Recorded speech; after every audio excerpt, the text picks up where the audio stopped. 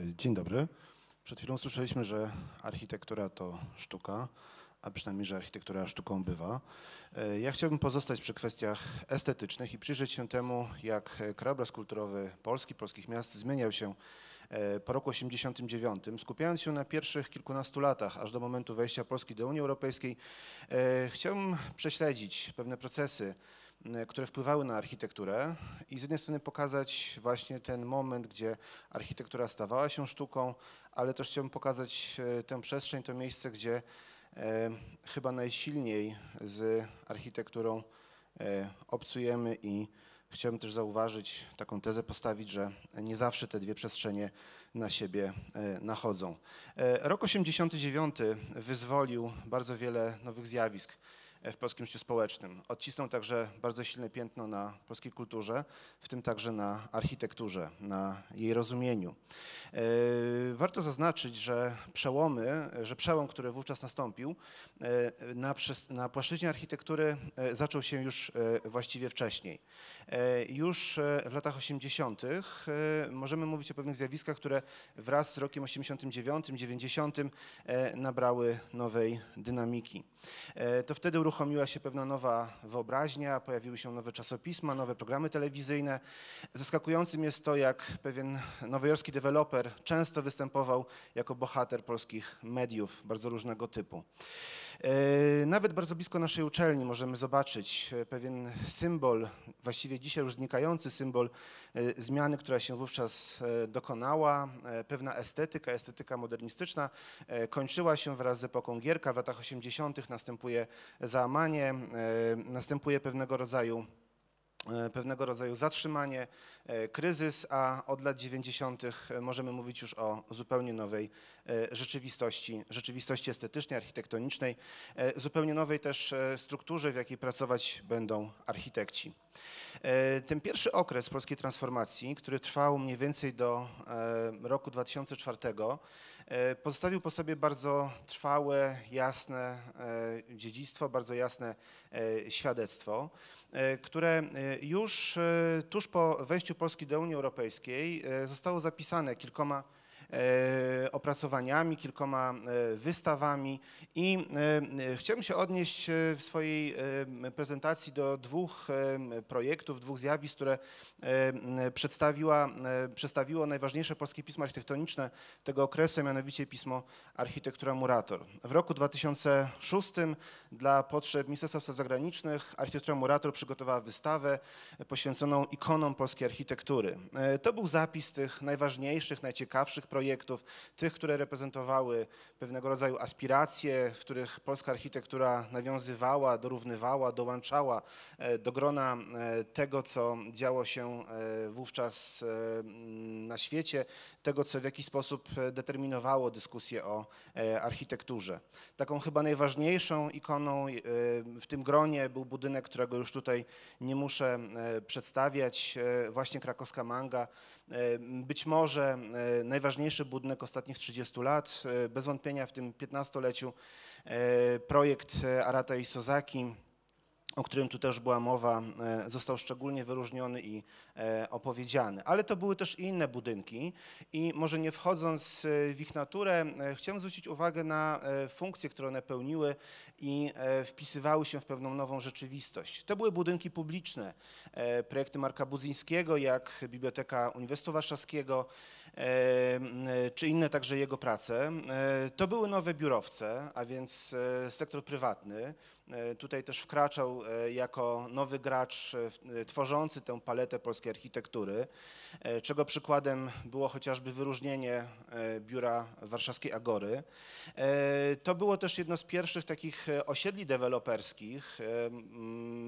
Dzisiaj właściwie mogące być postrzegane jako pewien koń trojański otwierający E, pewien nowy rozdział, e, o którym pewnie tutaj dzisiaj będzie dużo jeszcze e, mówione w polskiej architekturze. W tym gronie znalazła się także galeria handlowa. E, akurat Stary Browar e, w Poznaniu, a więc znowu pewne nowe zjawisko, które e, wkroczyło do polskich miast po roku 89, ale równocześnie to nie była pełna gama tego, co w Polsce się działo. To samo pismo, Architektura Murator, jeszcze w latach 90. zorganizowało konkurs o nazwie Życie w architekturze, w ramach którego stworzyło też rodzaj takiej antyopowieści o tym, co się w Polsce działo. Ta antyopowieść powieść zyskała nazwę Koszmar e, mm, sześciolecia. Chodziło o lata 89-95.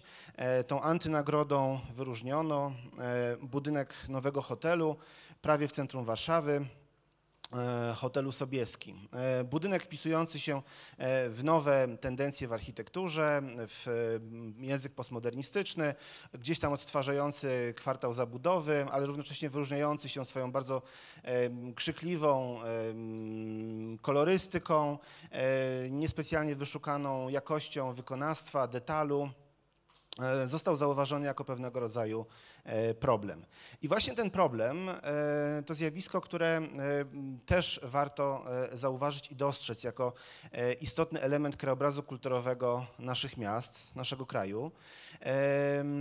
Krajobrazu, który został stworzony niekoniecznie jako projekt architektoniczny, często jako projekt deweloperski, projekt biznesowy, jako realizacja pewnego, pewnych zjawisk zachodzących e, w danym momencie i w danym, e, w danym miejscu. Jaka więc była Polska lat 90.? E, w jakich przestrzeniach Polacy chcieli przebywać, gdzie się chcieli odnajdywać, chcieli spędzać czas, jak na te zjawiska reagowała polska architektura. Kilka lat po powstaniu budynku Mangi w Krakowie powstała pierwsza duża galeria handlowa, do pewnego stopnia będąca taką mangą Arebur, też z pofalowaną ścianą, też z kamienną elewacją, ale równocześnie zupełnie innym podejściem do projektowania wnętrz. E, budynek odniósł e, spory sukces w chwili swojego otwarcia. Dzisiaj może jest już cieniem samego siebie z tych pierwszych lat, ale początkowo bez wątpienia e, budził kontrowersje jako projekt architektoniczny, natomiast spotykał się z sporym odzewem klientów. E, nie sposób też nie wspomnieć w tym miejscu o chyba największym budynku, jaki w ogóle zrealizowano w naszym kraju. E, licząc w metrach kwadratowych, największym architektem okresu transformacji był ten oto sympatyczny jegomość. E, Wahab Toy pochodził z Turcji, ze Stambułu i zanim wyjechał z naszego kraju, ścigany przez pewne organa, zapisał się jednym z najwyższych budynków centrum Warszawy oraz tym szczególnie wielkim, z kopułą wznoszącą się na 55 metrów, z jedną z największych fontan, jakie w ogóle w naszym kraju możemy zobaczyć. E, przed wyjazdem e, zdążył też przedstawić wizję polskiego Las Vegas, która miała powstać w Białej e, Podlaskiej. Takich opowieści o polskim Las Vegas, rodem z wywiadów z Donaldem Trumpem, publikowanych w polskich mediach, znajdziemy jednak wiele. To będą hotele sieci Gołębiewski w Karpaczu, w Wiśle czy, e, czy na Mazurach. E, to będą też pewne realizacje sakralne. Też ta budowla, budowana ze składek wiernych, jest też pewnego rodzaju emanacją naszych wyobrażeń o nas samych. To wreszcie architektura mieszkaniowa. Tutaj podobno najdroższa oferta, jaka kiedykolwiek pojawiła się na polskim rynku. E, willa pod Warszawą, e, początkowo wyceniana na 110 milionów złotych, to prawie jak stadion piłkarski. E, połączenie średniowiecznego zamku z pałacem w Belwederze o niespecjalnie wyszukanych proporcjach. Takich projektów było więcej. Projektów, które gdzieś tam opowiadały o naszych marzeniach, poszukiwaniach nowej tożsamości. E, tutaj plakat wyborczy, który e, parę lat temu można było oglądać na ulicach Krakowa, pokazujący nam właśnie te aspiracje, aspiracje, do, które, o których opowiada także architektura, aspiracje do życia w dworze, w pałacu. Takich budynków było więcej, jest więcej, czasami są to kopie najbardziej znanych, ikonicznych obiektów z historii polskiej architektury. Czasami czasami są to zmultiplikowane, powielone, zwielokrotnione, niczym e, w fabryce e, samochodów e, projekty, które poprzez pewien element formalny, jak kształt dachu, jak kształt lukarn, również mają opowiadać o tych naszych marzeniach, nostalgiach za przeszłością, e, snach o e, potędze. E, Te sny e, w naszej rzeczywistości, rzeczywistości, która od kilkunastu lat e, boryka się z bardzo słabym prawem, z brakami w planowaniu przestrzennym, e, przełożyły się także na e, bardzo specyficzny sposób radzenia sobie z e, tą rzeczywistością.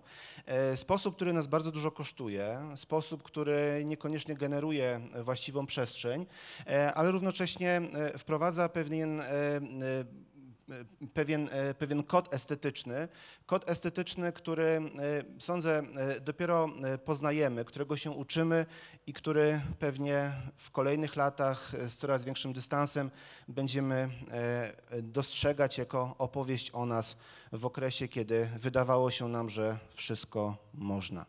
E, To tyle ode mnie. 10 minut minęło. E, Czas przekazać mikrofon kolejnemu mówcy.